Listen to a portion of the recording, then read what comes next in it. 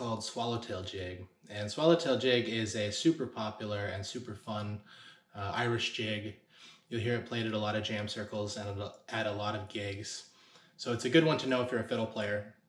And today I'm going to try to teach it to you. So let's dive right in. Uh, Swallowtail Jig is a jig, so it's in 6-8 uh, time. Um, it has a bouncy triplet feel. If you don't know what that means, I'll give you an example. Bouncy triplets, uh, think uh, sets of three, sets of three notes.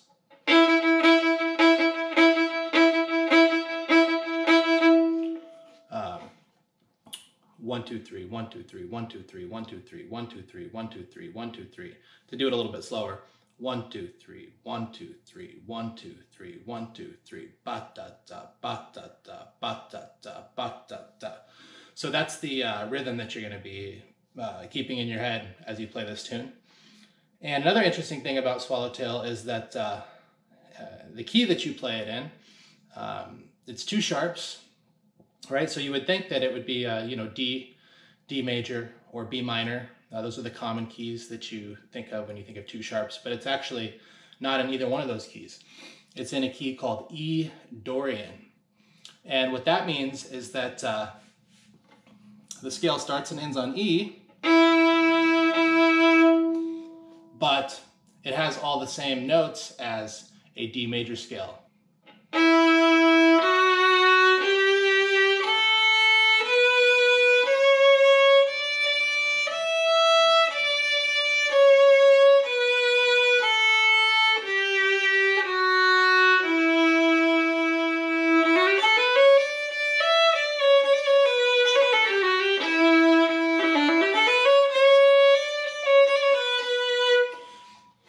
So E Dorian, um, all you need to remember is that on the A and uh, the D strings, you have a high second finger, and uh, on the E string, you have a low second finger. So we're playing a C and F sharp, again, two sharps. So to start the tune, uh, we're gonna be on the D string, and the way I'm gonna do this is I'm gonna just explain a couple of things in the beginning, and then I'm gonna uh, teach uh, both parts of the song, the A part and the B part, I'm going to teach them in little sections. And there's going to be graphics on the screen that show you what my fingers are doing so that you can follow along. And we're going to do it real, real slow so that you can uh, pick the tune up. So an important thing to uh, start the tune, uh, there's a pickup. So I'll give you an example of that. One, two, ready, play. So there's a little eighth note at the beginning that kind of kicks everything off. So uh, the downbeat is your, but right before that we do a little bit of a pickup. So if we count ourselves in, we go one, two, three, four. Right? So just hit that eighth note, and that's a second finger on your D string, F sharp. Um, another thing is that's this first little passage that um, is kind of recurring here. It's your Um, it really helps if you do a block fingering, since you're using your first finger on both your A and your D strings. So block fingering is when you cover up uh, two strings with one finger. Um, so you can, uh, if you put your first finger on the A and the D strings together at the same time, you should be able to play that little uh, double stop fifth right there. And it makes it really easier to hit these uh, string changes.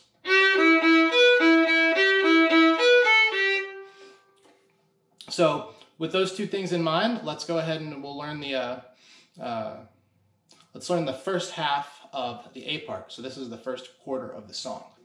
One, two, ready, play.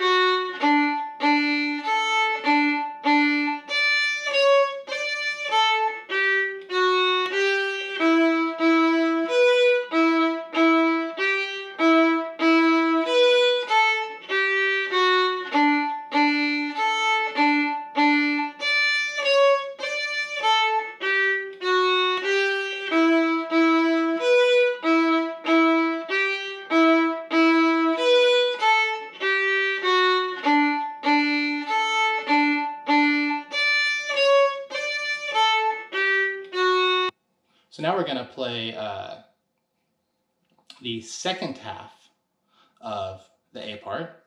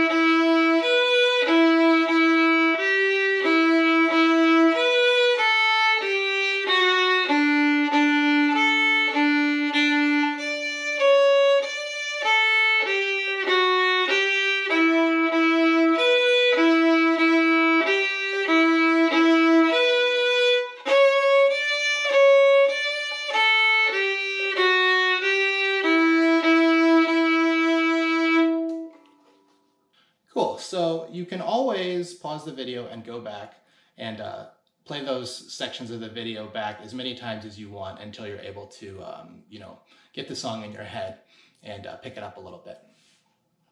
So now we're going to move on to the B part.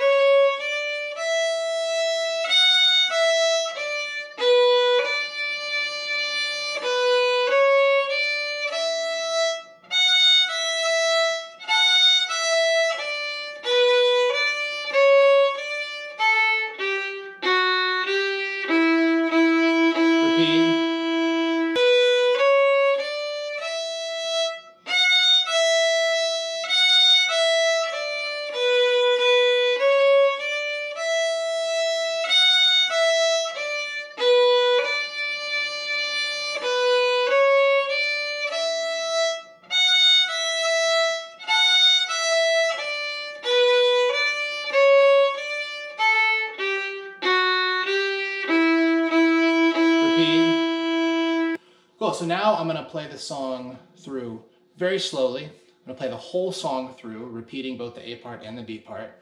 And uh, I hope that you will feel comfortable enough to try to play along with me a little bit. We're gonna go very, very slow, and I'm gonna count you in. One, two, ready, play.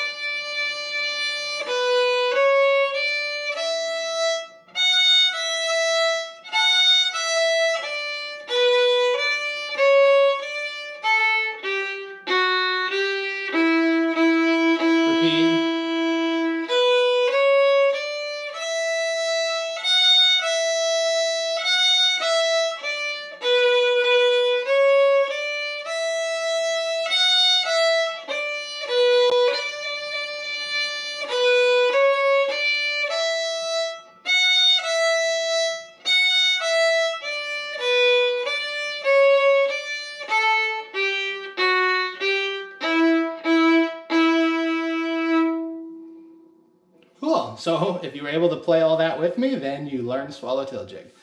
And now all you need to do is just speed it up a little bit um, as you're comfortable with. You know, learn things slow first. This is my this is my philosophy. Uh, learn it slow first, and then you can pick up the speed. Once you've learned this song and uh, you know it quite well, and you want to make it more interesting, uh, that would be the time that you throw in. You start to throw in some ornaments, some slides, uh, and some different uh, techniques to make the tune a little bit more interesting. And I'll give you uh, some examples of a few of those things that you can do and um, you know show you how to do them. So one thing that's cool on the pickup, you can kind of swoop your way in um, using one bow, using one long down bow. So it sounds like this. Do that again. Um, you'll see a lot of people do that when they're playing this tune. Um, it helps dancers a lot too if people are dancing along to the tune. So that's one that you can do. And the way you do that is just by using one long down bow and kind of speeding up your bow as you go along. So when you do the pickup, da, ba, ba, ba. So there's one long down bow uh, right into this, right into the tune. And uh, so let's keep going.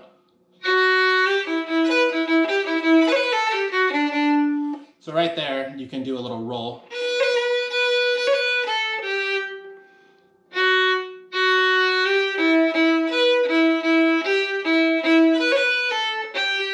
I guess it's actually not a roll, it's a flick. So a flick is when you play a note and then you just flick the note above it. Uh, so you can practice that a couple of times.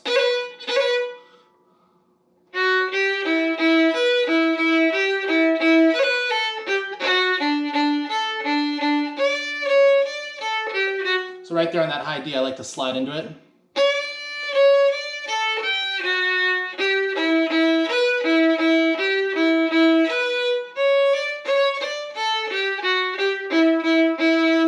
There's a cool thing you can do with your bow to kind of um, give it a little bit of a shuffle. Um, uh, I'll give you an example of that.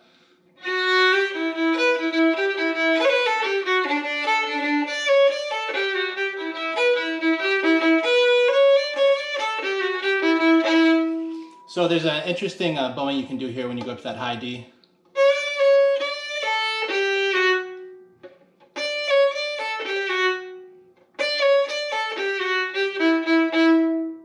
And if you throw in accents, it makes it sound really cool.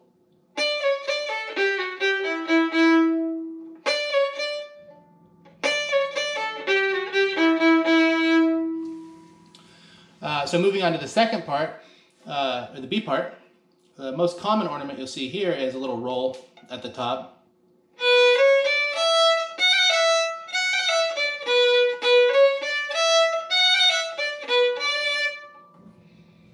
Um, so again, that's, uh, is it a roll or is it just a flick? No, it's just a flick again. It's not even a roll. And just to kind of, um, I'm talking about flicks and rolls here, just to explain the difference if you don't know. Um, a flick is when you just flick the note above. That's a flick. And um, a roll is when you flick the note above, you go back to the note, you play the note below, and then back to the note. So it sounds like this.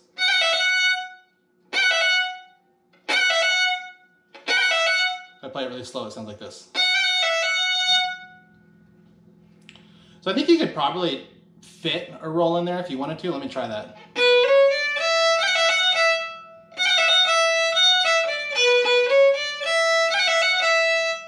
Maybe not. Um, and this is the cool thing about ornamentation is that you can always experiment and figure out, you know, what you like and what you don't like. And you can really make the tune your own by throwing in uh, different uh, types of ornaments.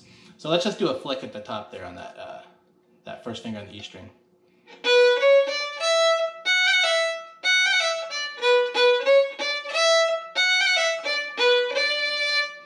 So when you play it at tempo, it sounds like this.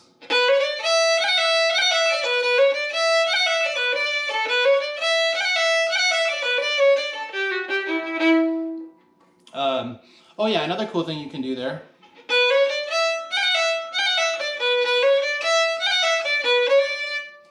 Uh, you can throw in a little second finger there when you get to that D.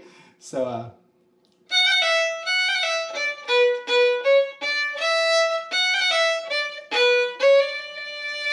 right there, you can really dig in on that second finger. And uh, you can also just slide up to it.